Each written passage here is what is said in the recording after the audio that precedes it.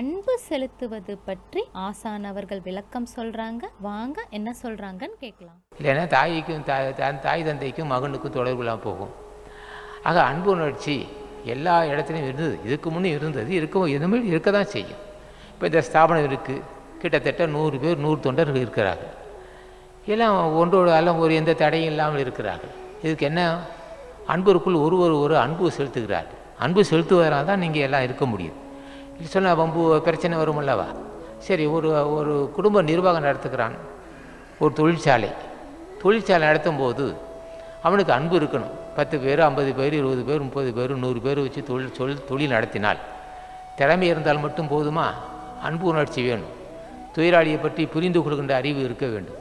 இப்படி சொன்னால் அவன் வந்து அந்த தொழிற்சாலை நடத்த முடியாது. இப்போ அதிகாரிகள் இருக்கிறார்கள். அவர்களும் அன்பாக இருக்கலாம். ஆனால் அதிகாரம் இருப்பதனால பிரச்சனை இல்லை. அன்பாக இருந்தால் நல்லது அவர்களுக்கு அடுத்து இரண்டு வகையில் அன்பு வேணும். இப்போ காந்தி இருந்தார். அவர் நாட்டுப்பால் அன்பு கொண்டார். நாட்டுப்பற்று. இந்த அன்புக்கு நாட்டுப்பற்றுன்னு ஒரு பொருள் உண்டு. இந்த அவருடைய நல்ல உணர்வுகள் தான் இப்போ நாமெல்லாம் விடுதலை அடைந்திருக்கோம். அவரோட அன்பு உணர்ச்சி. இந்த அன்பு தியாகம் என்று ஒரு பொருள் உண்டு. இந்த அன்புக்கு அறிவு இருக்கணும். அறிவு இல்லை என்றால் அரு- அன்பு இருக்க முடியாது. அன்பு தியாகத்துக்கும் இந்த அன்பு தான் முக்கியம்.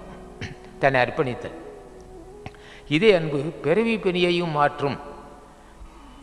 இதே அன்பு இல்லறத்தை நல்லபடி நடத்தும். இதே அன்பு நட்பை பெருக்கும்.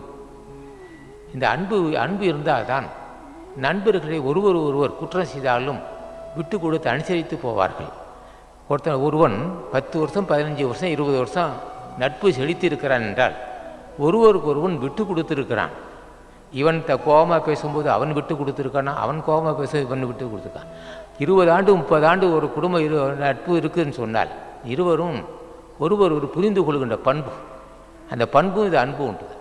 அப்போ அந்த நட்பு பெருக்க நட்புக்கும் துணையாக இருக்கு இது.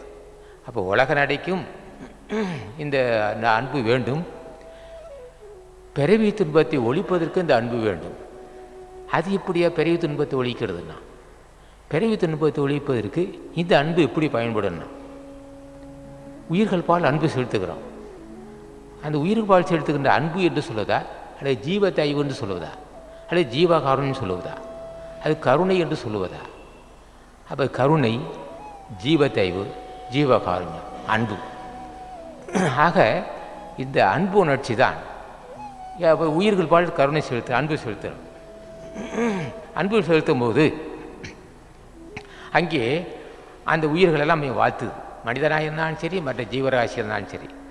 அந்த எல்லாரும் வாழ்த்துகிறார்கள். புண்ணியவான் நல்லா இருக்கட்டும் அப்படின்னு நினைப்பார்.